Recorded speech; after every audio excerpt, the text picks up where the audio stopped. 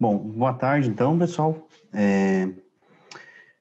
O João falou do Ulisses e da volta dele para Ítaca, e eu vou falar um pouquinho sobre a aventura de Jazão e os Argonautas. Eu também tenho alguns slides aqui para partilhar com vocês. Tem algumas imagens, aí fica mais interessante do que simplesmente eu falando. Muito bem. Então, como o Jazão e os Argonautas é um mito que ele talvez não seja tão conhecido quanto é, o de Ulisses e da, da Odisseia e da Ilíada, eu vou, à medida que eu vou, vou, vou contando e falando um pouco sobre a, a simbologia do mito, as, as reflexões que, que me levaram a. Que, as conclusões que eu cheguei refletindo durante o estudo para essa para essa atividade, eu vou contando o mito também para que vocês possam entendendo o contexto, tá? Aqui tem duas imagens interessantes, uma aqui na, na esquerda, esse é o Jazão, é uma estátua de Jazão, tá aqui ele segurando o, o velo ou o velocino de ouro, e aqui são eles num pedaço da aventura deles, quando eles têm que passar por um determinado ponto, que depois eu conto essa história na hora certa. Bom, antes de falar do mito em si, é interessante a gente entender é, para que raio serve o mito e o que é um mito e, e para que, que a gente usaria isso, né? Porque como o João falou ali anteriormente, se a gente tenta entender é, um mito de uma maneira literal, ou se a gente tenta encaixar ele dentro de uma cronologia, ou de um ano, ou de uma época específica, isso não, não é possível de ser feito. Então, não é que é, não, não, dá para encaixar, ah, de repente o Ulisses teve a aventura dele no ano, sei lá, 3000 antes de Cristo, e aí Jazão e os Argonautas foi no 2820. Não, não existe esse tipo de cronologia quando a gente fala de mitos. Por quê? Porque o mito, ele transporta a gente, ele leva, ele está representando um tempo diferente do que, do que o tempo que a gente vive cronologicamente falando. A gente, como sociedade, estipulou um relógio, estipulou é, horas é, ao redor do mundo inteiro para que a gente possa se adaptar e se ajustar, mas um, um, o mito ele está falando de um tempo diferente. É um tempo sagrado que leva a gente para entrar em contato com elementos que nos tornam pessoas melhores. Se a gente consegue entender o mito um pouquinho e consegue aplicar um pouquinho dos ensinamentos que estão por trás do mito. Então, essa que é a importância por trás de se estudar um pouquinho, de ler, de tentar refletir, entender com um pouquinho de profundidade é, os mitos e como eles, eles funcionam. Então, esse é, é, é, o aspecto interessante do estudo dos mitos e da mitologia. É, bom, como que começa o mito de, de Jazão e os Argonautas? Lá num determinado tempo, eu gosto de começar essas histórias com a frase que é mais ou menos assim, há muito tempo atrás, quando o mundo era jovem, e os homens eram bons, existia uma ninfa que voava pelos céus, que se chamava Nefele, e ela voava numa, numa nuvem, era uma ninfa muito bonita, e ela vivia livre, voando e contemplando toda a natureza e o mundo. E aí, um determinado dia, ela passando pela por cima da Grécia, na sua nuvem, ela viu num terraço um jovem príncipe, o Atamante, que era o, o príncipe futuro rei é, da, da região onde seria a Tessália. É, e aí ela, eles se apaixonam. E ela se, se unem, tem um, tem, se casam e tal, e nisso eles têm dois filhos, Fricho e Ele. É, eles têm esses dois filhos, vivem felizes por muito tempo, só que o que acontece? Nefele era uma ninfa dos ares e voava contemplando o mundo e a natureza e toda a vida, e aí ela se viu, de repente, é, de certa maneira, prisioneira dessa relação com, com Atamante, de todo o compromisso que ela assumiu, e ela vai começando a ficar cada vez mais infeliz, e, e, e não tem mais uma boa relação com Atamante e tal, e de repente ela decide ir embora, e ela vai embora. No momento em que ela vai embora, chega uma outra princesa de um outro lugar, que se chama Ino, e, e aí ela chega no, nas portas da cidade, se apresenta para Tamã e diz, olha, eu sou a princesa Ino, eu não, não posso ficar na terra onde eu estava e tal. E aí o Atamante pensa, bom, se uma foi embora e outra chegou logo em seguida, porque os deuses querem que isso aconteça. Então ele se casa com ela, E ele dá uma condição para ela que é a seguinte, de que você tem que amar os meus filhos como se fossem teus. Ela aceita isso até que ela tenha o primeiro filho dela. Aí, quando ela tem o primeiro filho, ela tem uma certa inveja e começa a ficar preocupada que não vai ser o filho dela que vai assumir o trono e tal. E aí ela arma meio que uma, uma cilada ali para se livrar dos filhos do Atamante, o Frisch e a O que, que ela faz? Ela, ela manda os, os, os, é, os artesões ali da cidade semearem o campo com, com pedras e não com sementes. E aí, é, quando o, o, trigo não cresce e tal, ela, ela diz para o rei consultar o oráculo de Delfos, ele manda lá um, um arauto para o oráculo, esse arauto volta, antes dele chegar e falar com o rei, ela oferece dinheiro para o arauto, e o arauto diz que a culpa é do, é do filho dele, o Fricho, e que ele e a Ellie têm que ser sacrificados para que os deuses é, se compadeçam e eles voltem a ter riqueza novamente. O Fricho aceita o destino dele, mesmo sabendo que não era verdade. É, só que a Elia, ainda irmã esperançosa, fala para ele: Olha, nossa mãe está nos céus, voando de um lado para o outro e tal, e ela vai ver o que está acontecendo e vai ajudar a gente. O pai deles meio que enlouquece, o Atamante, e, e, e diz: Não, tá bom, vamos sacrificar. Essa imagem aqui do lado é, da, é uma pintura é, da época do Renascimento. Inclusive, é muito interessante se a gente pesquisa durante a época do Renascimento tem muitas pinturas sobre os mitos gregos. Inclusive, se vocês vão para Itália, Florença, por exemplo, qualquer lugar que vocês vão lá tem um monte de, de pinturas representando esses, esses, esses, esses mitos. E é interessante estudar um pouquinho disso antes de viajar, porque você começa a reconhecer esses quadros, é mais legal a viagem. Fica a dica. Então, essa aqui é a cena do Atamante enlouquecido, querendo sacrificar os seus filhos. Eles vão até o alto de uma montanha que tem perto da cidade, que é onde seria feito o sacrifício. Quando eles chegam no alto, chega Nefele numa nuvem e dá para os filhos dela um carneiro dourado e fala para eles: subam nas costas do carneiro, vão até a Cólquida e peçam asilo lá, porque é, é, meu parente lá e tal, e ele vai ajudar vocês. O Fricho e a Ellie sobem no carneiro, tá aqui o carneiro dourado, o Frisch em cima dele e fazem a viagem até a Cólquida. É, então, eles estão na Grécia, a Cólquida é mais ou menos lá na região onde é a Geórgia hoje. Depois, ali no final, eu abro o Google Maps aqui e mostro para vocês terem uma ideia. É, só que o que acontece? É, no meio da viagem, no caminho e tal, quando eles estão passando pelo lugar que a gente conhece hoje como Helesponto, que é próximo ao Estreito de Bósforo, ali quase chegando em Istambul, é, a Ellie olha para baixo, fica meio tonta porque está no alto e tal, e cai. E aí ela cai nesse, nesse estreito que é justamente conhecido hoje como Helesponto por causa de Ellie, é o ponto de Ellie, onde ela caiu. E falam que até hoje ela ela está lá e que as águas estão sempre em movimento, que é uma espécie de canção de ninar que a mãe dela canta para ela o, o tempo inteiro por ela ter caído nesse lugar. Isso é outro aspecto muito interessante dos mitos, que sempre a gente vai ver nos mitos a tentativa da explicação das coisas. E durante e, e se vocês estudam o, os mitos gregos, vocês vão ver que tem várias dessas relações.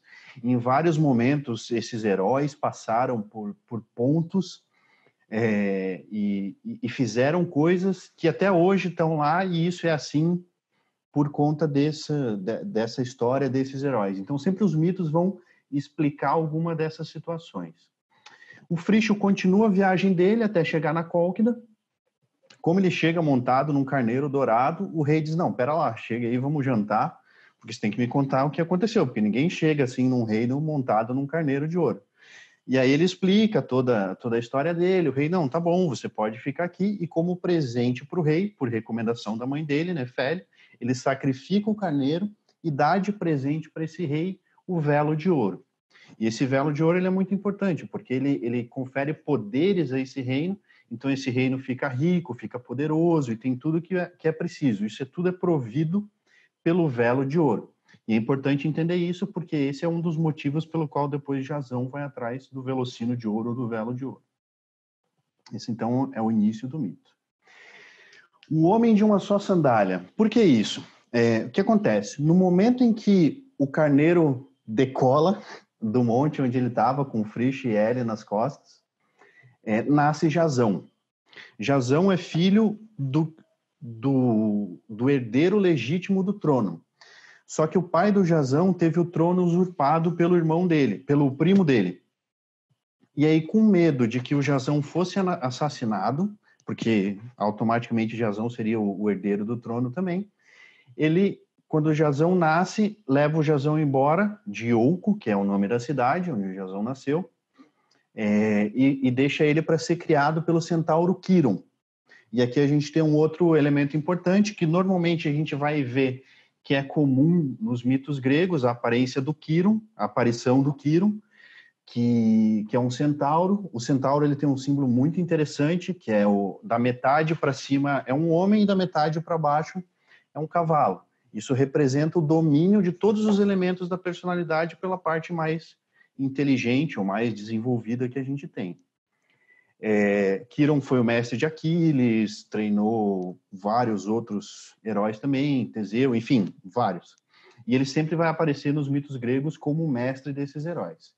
Kiron então cria Jazão é, e, e, fala para o pai dele que, olha, quando o Jazão estiver forte o suficiente para poder fazer algo com relação a essa a esse trono que foi usurpado, que é dele por direito, eu vou contar para ele toda a verdade e aí ele vai fazer o que tem que ser feito para reconquistar o, o, o, trono que ele tem por direito. É, então, quando o Jazão já, já, já se tornou um homem, ele Quiron conta para ele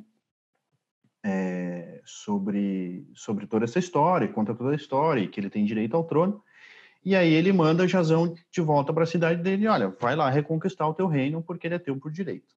No caminho, ele tem que ele chega na, no cruzamento de um rio e tem uma, uma senhora muito velha, doente, com várias feridas e tal, com um aspecto repugnante, que ninguém quer chegar perto. E a senhora pede para ele encarecidamente ajuda para atravessar o rio. Ele, muito bondoso, aceita isso, pega a senhora no colo, atravessa o rio. Nesse processo, ele perde uma sandália. Por isso, o homem de uma só sandália. E aí, quando ele atravessa o rio, chega do outro lado, larga a senhora, ele diz, hum, muito bem, atravessei a senhora, agora vou continuar meu caminho, continua o caminho dele, ele dá dois, três passos, ouve uma voz feminina atrás dele, muito bonita e diferente da senhora, ele vira para trás e tem uma mulher linda e maravilhosa lá, que é Hera, é uma deusa, que estava disfarçada da senhora. E aí Hera, a deusa, a mesma que nunca gostou do Hércules, mas no caso ela gostava do Jazão, ela diz para ele: Olha, você me ajudou e agora, sempre que você precisar, eu vou estar ao teu lado te ajudando. E isso é muito importante porque é, ao longo de toda a aventura dele, de Jazão e dos Argonautas, era nos momentos críticos dar uma mãozinha e, e consegue e, e, ajuda eles a, a superar vários obstáculos ali. Isso é importante também porque a gente é, a gente começa a perceber e, e, é interessante a relação que tem isso com, com, com o que a gente chamaria de, da lei do karma ou de ação e reação. Né? À medida que a gente vai sendo bondoso e vai oferecendo algo, não para alguém específico, mas para a vida como um todo, a vida também vai provendo para a gente as coisas que a gente precisa. Isso é algo que é interessante aí no meio desse, desse processo. Ele vai até Yoko, Chega lá, é reconhecido pelo rei, porque o oráculo diz para Pélias, que era o rei usurpador, que, olha, fica atento com um cara que aparecer com uma só sandália, porque esse é quem vai te roubar o trono.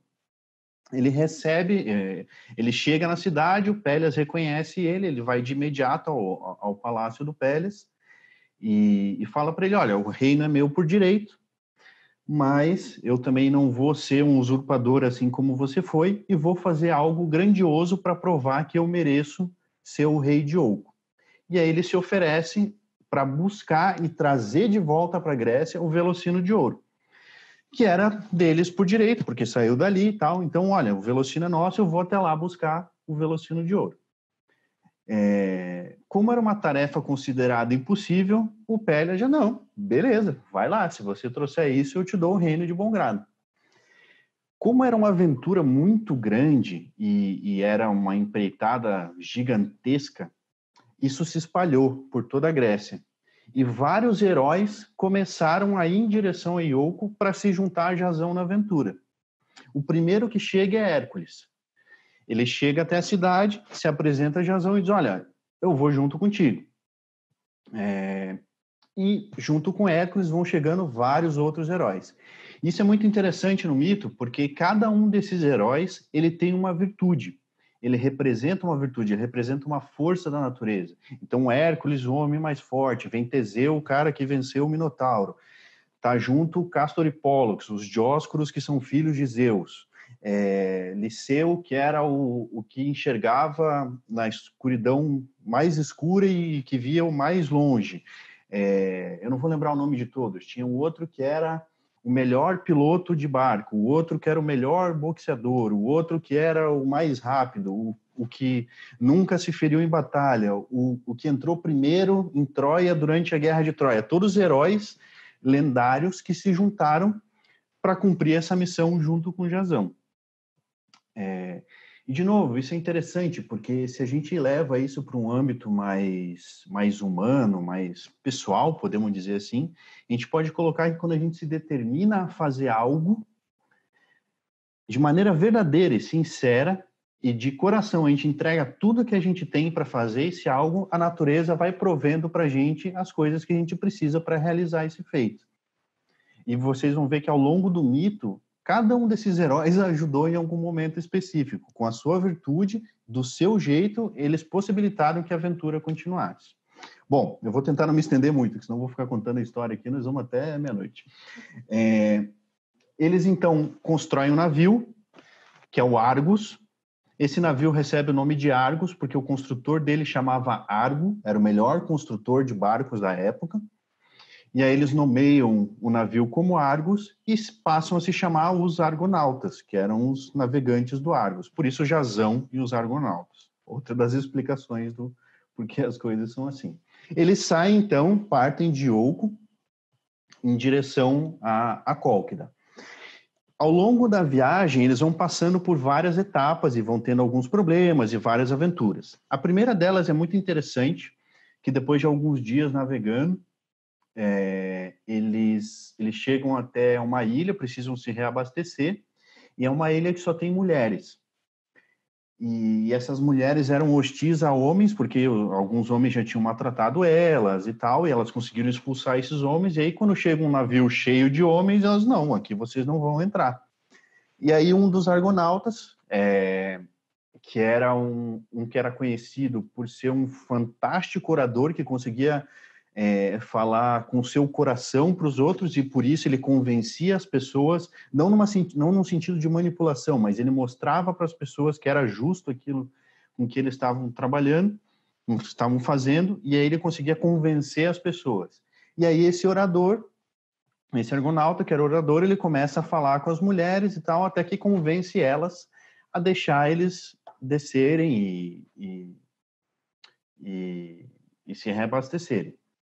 Só que o que acontece? É, aí tem as tentações que o João estava comentando também. Quando eles descem e, e, encontram essas mulheres, eles começam a, a, a, se apaixonar pelas mulheres e vão ficando, e passa um dia, e passa dois, e passa três e tal. Hércules foi o único que ficou no navio, porque né, nessa, nessa época Hércules estava passando por uma, uma, uma prova dura, que ele tinha sido enlouquecido por Hera, e confundiu os filhos com, com dragões e matou os próprios filhos.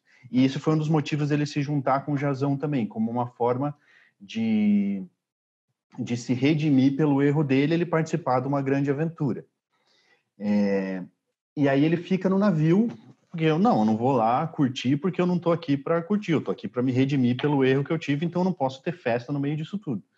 Só que passa um dia, dois, três, quatro, e aí o Hércules, não, peraí, os caras se perderam ele vai até o, o, o palácio, até a cidade, encontra todos os argonautas sentados, banqueteando com as mulheres e tal.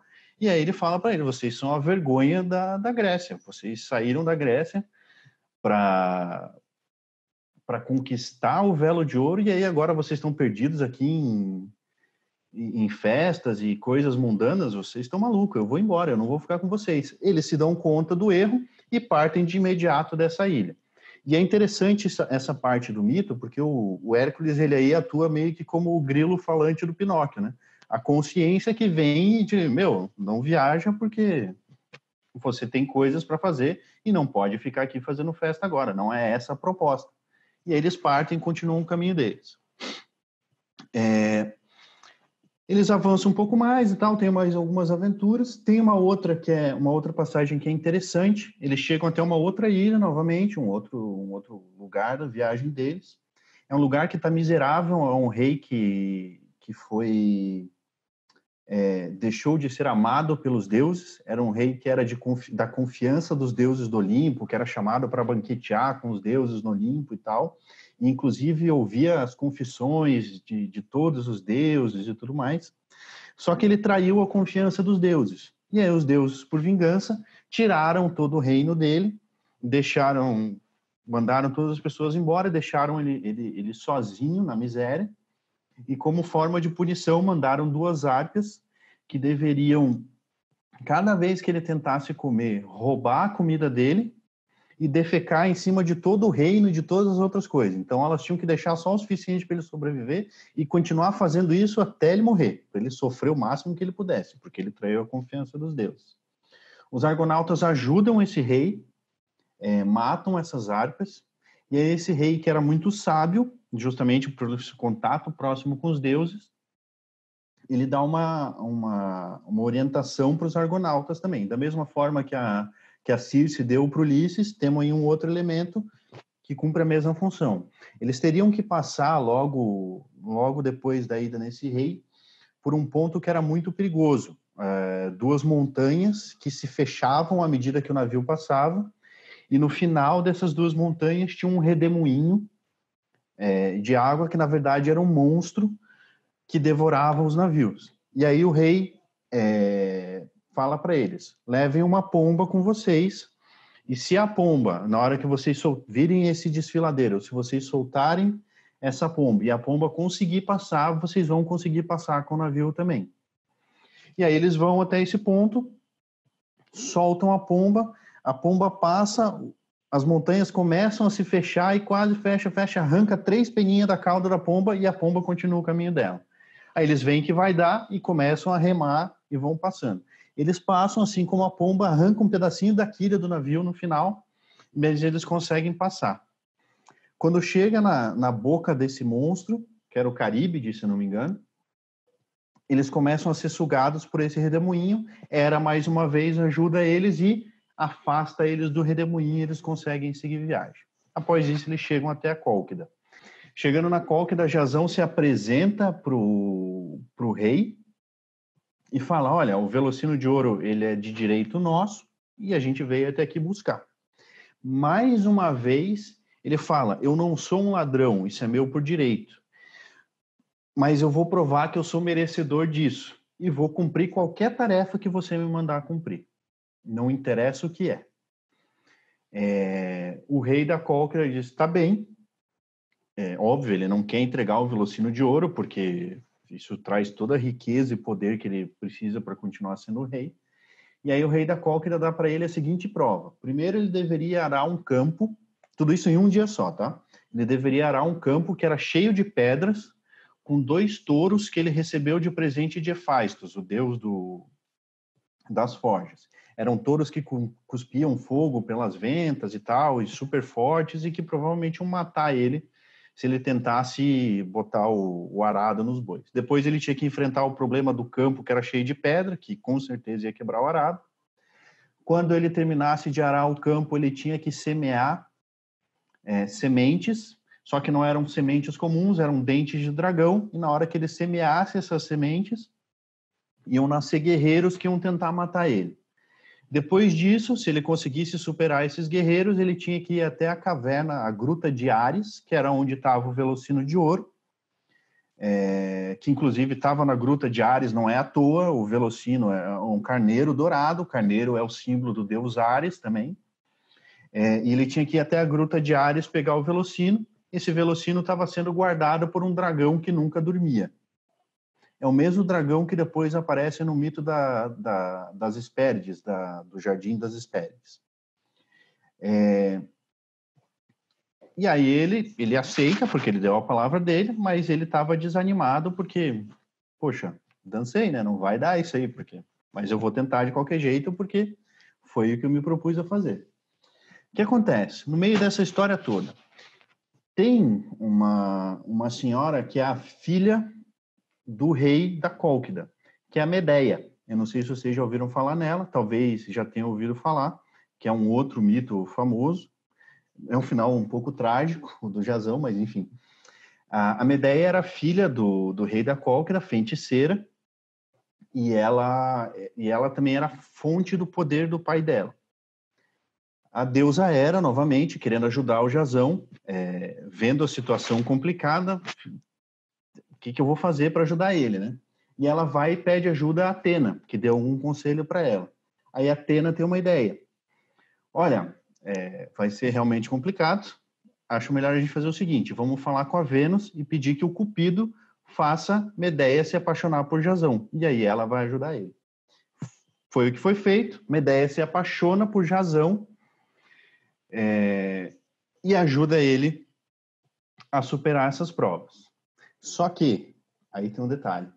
Ela se apaixona, é uma feiticeira super poderosa e tal, e ela fala para ele: Olha, eu tô apaixonada por você, eu vou te ajudar, só que você tem que prometer que nunca vai me abandonar. Ele, claro, nunca vou te abandonar, vamos casar e ser felizes para sempre, e vai ser isso, e, e vamos a isso, como vocês falam em Portugal aqui. Aí eles, eles conseguem pegar o Velocino de Ouro e fogem. É uma, é, é, eles têm que fazer algumas coisas lá e tal, mas é, é uma saída rápida da Cólquida, não é algo amigável, porque o rei da Cólquida não queria entregar o Velocino. Eles saem fugidos, o rei manda atrás deles um exército com alguns navios e o irmão da Medeia, um meio-irmão dela. E aí começa a, a viagem de volta da, de Jazão os argonautas de volta para Iolco com o Velocino. E nesse ponto também é onde começam os problemas, diria eu. Porque o que acontece? Quiron, quando fala para ele, vai até Iolco e reivindica teu trono, é, dá um conselho só para ele: jamais saia do caminho da honra e da verdade. É a única coisa que o Quiron fala para ele. Independente de qualquer coisa que você faça, jamais saia do caminho da honra e da verdade. Até a chegada Cólquida e a conquista do Velocino de Ouro, tá tudo bem. Ele fez tudo dentro do que seria o caminho da honra e da verdade. Ele foge com a Medeia. Em determinado ponto, eles são encurralados pelo irmão da Medeia, pelos, pelos guerreiros da Cólquida. E aí ele mata o irmão da Medeia de uma maneira traiçoeira, pelas costas, sem dar chance dele se defender, dentro de um templo da deusa Artemis. É, só ele não podia ter feito coisa pior. Foi a coisa mais horrorosa do mundo. Ele foi influenciado pela Medeia, que diz, não, não tem outra saída, eu vou... E, e, e é assim, a Medeia tem uma, uma coisa interessante. Ela vai ajudando ele a enganar e matar e fazer um monte de coisa ruim ao longo do processo ele mata o irmão dela, os deuses se revoltam. Não, peraí, também não é assim, né? Não pode matar o cara pelas costas dentro de um templo de uma deusa, não, as coisas não funcionam desse jeito. E aí eles começam no caminho de volta a ter uma série de dificuldades. E é interessante, porque assim, Ulisses se dá mal na volta dele para casa também, porque ele se esquece de que a vida não é assim esse parque de diversões, e que você tem que obedecer certas regras para que as coisas aconteçam da maneira adequada. E aí ele se revolta com os deuses, ele se acha o, maioral e mais inteligente que os deuses, e Jazão comete o mesmo erro. E dali para frente é só desgraça até ele voltar a Iogo. Eles têm uma série de dificuldades. Quando eles estão quase chegando em Ioco, acontece algo que é bem parecido com o que acontece no mito da Odisseia, que tem um trecho que eles estão quase chegando, eles conseguem ver a praia, e aí vem os deuses e mandam eles lá para o que parto. No caso dos Jazão os Argonautas, eles foram mandados para a costa da África, para mais ou menos onde é a Líbia hoje, para a beira do deserto, e o único jeito deles escaparem de lá era carregando Argos nas costas no deserto até o fim do mundo, que é onde Atlas segura a abóboda celeste. Chegando lá, eles, eles são orientados pelo Atlas é, a, a, falar com um deus, o deus dos, do, um deus dos navegantes. Eles têm vários deuses dos mares, dos navegantes. Eu não me lembro o nome dele agora. Eles são orientados a falar com esse deus e pedir orientação para esse deus, porque ele é o que ajuda os navegantes perdidos. É, e aí ele ajuda eles no caminho de volta. Tem uma passagem interessante nessa volta também, que eles também passam pela Ilha das Sereias. Só que o jeito que eles enfrentam as sereias é um pouquinho diferente. Lembra que eu falei que tinha vários heróis de, de cada um com sua característica e tal? Um dos argonautas é Orfeu. Sabe aquele da lira que toca e tal, que tem um outro mito do Orfeu e Eurípides, se não me engano ele estava também nessa viagem. Quando eles passam pela Ilha das Sereias e as sereias começam a cantar, Orfeu se dá conta do que é e ele pega a lira dele e começa a cantar. Sobrepõe a voz das sereias e eles passam pelas sereias também. Então, é, é um outro mito que passa pelo mesmo lugar da Ilha das Sereias, mas com um outro jeito de enfrentar esse obstáculo. Isso é outra coisa interessante, né? Que cada um, com a sua característica, vai passar o obstáculo. Cada um tem uma visão do mundo e da vida e vai poder é, entender e superar os obstáculos da vida de uma maneira diferente. Isso é importante, porque por mais que a gente é, se espelhe em alguém ou tenha alguém como exemplo, ou queira seguir o exemplo de alguém, no fim das contas, quem tem que dar o passo sou eu. E quem tem que realizar a coisa sou eu. Por mais que eu, que eu tenha um, um guia, um exemplo, no fim das contas, é, a perna que tem que dar o passo é a minha. Isso é importante, porque isso ajuda também a gente a entender que, olha, eu tenho que avançar, não podemos ficar parado. É... Ok. Então, tem uma outra história que é bacana desse mito, que conta é, a origem das coisas, que tinha no meio desses argonautas um que era o considerado mais bondoso de todos e que durante toda a viagem ele se manteve naquele caminho da honra e da justiça. Esse Deus que ajudou eles a, a voltar ao caminho presenteou esse argonauta com uma bola de terra. O argonauta ficou muito feliz. Olha, era uma bola de terra, mas era o presente de um deus, então não interessa muito o que, que é. Se você ganha um presente de um deus, não interessa se é uma barra de ouro ou uma bola de terra, o presente de um deus. E ele fica muito feliz com isso. E leva com ele essa bola de terra. Quando eles estão quase chegando na, na, na em Ouco, de novo, na Grécia, ele tá ali com aquela bola de terra, tá feliz, tá legal, ganhei do Deus, usar uma bola de terra, eu vou atirar ela ao mar. O Deus era do mar, eu vou atirar de volta, então.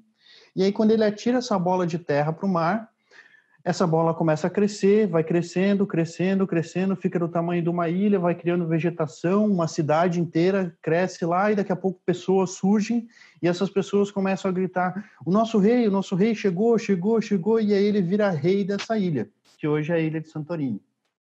Então, é, é, é muito legal essa, essa história do, dos mitos, porque tudo tem uma origem mítica. Por mais que a gente saiba que, e por mais que a gente tenha uma história cronológica, a gente tem uma história mítica também. Então, é, que isso faz um link entre esse tempo é, sagrado e esse tempo cronológico ou profano, para dizer, mundano, né? Então, é, é, interessante a gente ver é, esses, esses pontos de ligação, que é aquilo que o João estava falando, que o fundador mítico de Lisboa é Ulisses. Não quer dizer que necessariamente Ulisses passou aqui e tal. Eu gosto de acreditar que sim. Da mesma forma que eu gosto de acreditar que a ilha de Santorini surgiu como presente de um deus para alguém que demonstrou todo o valor que ele tinha e nunca se desviou do caminho durante toda uma aventura cheia de complicações. É, mas não necessariamente é assim, a gente não pode interpretar de uma maneira literal. Mas é bacana que a gente consiga fazer esse link entre esse tempo profano e o tempo sagrado. Chegou de volta o Jazão Eioco, é, entregou o velocino de ouro e falou para o rei Pélias: Bom, agora eu quero o reino. O Pélias fingiu que ia entregar o reino, planejou matar o Jazão não conseguiu, mas também não entregou o reino. E aí a Medeia complicou as coisas de novo. Diz, não, deixa comigo que eu dou um jeito. E aí o Jazão diz, tá bom, vai lá e faz o teu jeito. O que, que ela fez? Ela enganou as filhas do rei Pélias. O Pélia já estava velho, óbvio que essa viagem toda deles aí não foi assim em um mês, porque não era de avião, era de navio, então é uma distância grande. É, e aí ela fala para elas: Olha, eu consigo deixar o pai de vocês jovem novamente. É, quer ver? Eu vou provar. Me tragam um carneiro velho. Elas levam para ela um carneiro bem velho e tal.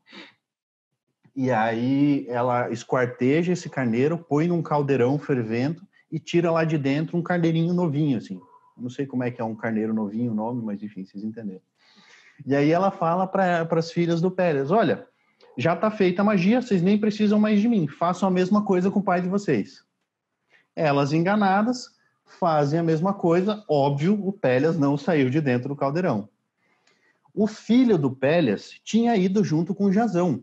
Ele acreditava no Jazão e, na, e no direito dele pelo trono.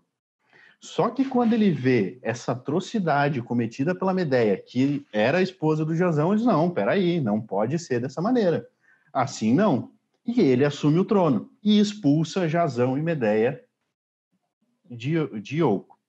Eles vagam para por outras cidades da, da Grécia, chegam até uma delas, eu não, eu não vou me lembrar o nome agora, é, e são acolhidos pelo rei de lá, é, vivem durante alguns anos como, é, como cidadãos dessa cidade, só que a Medeia ela sempre era vista como uma estrangeira e como uma feiticeira maligna.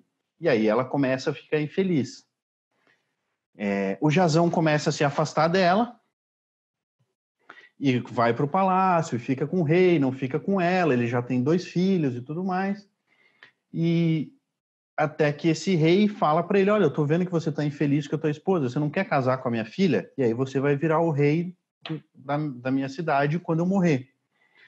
O Jazão sempre quis ser rei, ele diz: Não, mas aí ele se lembra da promessa que fez para Medés: Não, não vai dar. Ele volta para casa, eles têm uma briga horrorosa. No outro dia ele vai para o rei dessa cidade, não, tá bom, eu aceito. E casa com a filha dele. É, a Medeia faz é, o casamento passa pela cidade e tal. A Medeia tem faz toda uma cena porque vê eles casando, o marido dela casando com outra e tal. Aí o, o rei dessa cidade quer expulsar ela da cidade e ela novamente arma um plano terrível, maligno para se vingar. É, o que ela faz? Ela pede um dia a mais para sair da cidade faz um presente que ela é uma tipo uma túnica e uma eles chamam de diadema no, no, no, no mito. É como se fosse uma tiara de presente para a filha do rei. Só que ela ela faz uma poção mágica lá é, envolve esses dois elementos nessa poção manda para a filha do rei. Quando ela veste essa túnica e essa essa tiara essa túnica gruda na pele dela e começa a queimar ela viva o rei tenta ajudar, se queima também, pega fogo no palácio e destrói tudo. Assim, ela destruiu a cidade inteira. É... Só que essa era uma parte da vingança dela só. Quando o Jazão sai do palácio, ele saiu vivo ainda da, do palácio, ela executa a segunda parte da vingança dela, que é a coisa mais terrível que uma mãe poderia fazer. Ela mata os filhos para fazer o Jazão sofrer. Então, essa imagem aqui é dela matando os filhos. Está aqui a criancinha morta, esse aqui é o Jazão, e ela falando: Ó, matei nossos filhos. Coisa mais horrorosa que podia ser feita. Ela é, foge, vive uma vida horrorosa até o fim dos tempos, e dizem que até hoje ela vaga por aí, causando atrocidades e, e problemas pelo mundo afora o Jazão segue a vida dele, vagando pela Grécia de um lado para o outro, e o fim dele é, é, bem trágico. Ele, no fim da vida dele, ele está triste, desiludido, e, enfim, imagina, não conseguiu ser rei, não tem o velo de ouro, é, mataram os filhos dele, a esposa é uma feiticeira maluca, então ele está vagando até que ele chega no ponto onde eles tinham deixado o Argo ancorado quando voltaram na viagem. O navio já está meio que semi-destruído. Ele se deita embaixo do navio para dormir. É, um dos, uma parte do navio, a, a carranca, né, que todos esses navios tinham uma carranca na frente, ela se solta, cai em cima dele, esmaga ele ele morre ali. E esse é o final trágico do mito do Jazão. É, por mais trágico que seja e, e, é, e, e que pareça, é interessante porque se vocês pararem para estudar um pouquinho os mitos gregos, vocês vão ver que nenhum deles tem um final muito feliz, assim, e, e aquela coisa de novela é, da Globo, bonita, viveram felizes para sempre. Normalmente é, tem um final meio trágico, uma morte ou, ou, algo desse tipo. Isso, por mais que no caso do Jazão é, ele tenha sofrido um monte no final do, da história, da vida dele, por culpa dele, porque ele se desviou do caminho correto, e aí a vida cobra o seu preço, e ele vai ter que equalizar as coisas novamente para que, que tudo volte a, a um equilíbrio. É, é, normalmente a gente vai ver no final desses mitos uma destruição completa. Normalmente é uma morte bem horrível. Por exemplo, Hércules, ele morreu de uma maneira horrível, tão horrível quanto. Ele também tinha uma túnica semelhante a essa aí que foi vestida, e ele começou a arder e aí fizeram uma pira, ele se jogou na pira e morreu. E em seguida acendeu o Olimpo e virou um dos deuses do Olimpo. Os outros heróis normalmente morrem assim também. Isso é um simbolismo, um símbolo da iniciação também, uma destruição completa do corpo físico que representa uma elevação da alma para um outro patamar. Então a gente vai ter esses elementos também. Então por isso que também não dá para entender o mito de um jeito tão é direto e, e literal. Ele tem sempre um simbolismo inserido aí. E esse era o último slide. E isso era o que eu tinha preparado para vocês hoje.